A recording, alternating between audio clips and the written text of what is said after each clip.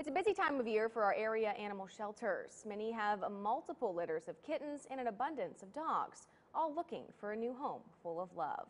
At the Wetzel County Animal Shelter, they even have they even say adoptions have dropped off so much space that it's quickly filling up. So they they say they're very eager to join us over the weekend for WTRF's Forever Friends Day pet adoption event. Not only does the shelter help the animals in Wetzel County, but they also try to help other counties out as well if space allows. We do take in strays, any strays, we don't turn any of them away.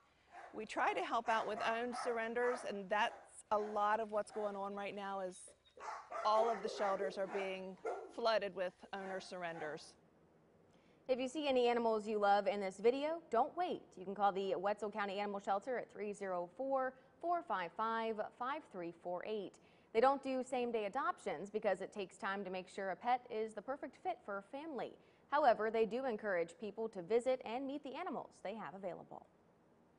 So if you're looking to adopt a pet or just want to help out our local shelters, join us on June 17th for our next star broadcast, Founders Day of Caring. WTRF is hosting Forever Friends Day at the Fitzsimmons Family Dog Park in Wheeling from 10 until about 5.30. Dogs and cats will be available for adoption, but if you aren't ready to welcome a pet into your home, you can also donate items the shelters need. We have their wish list over on our website, WTRF.com.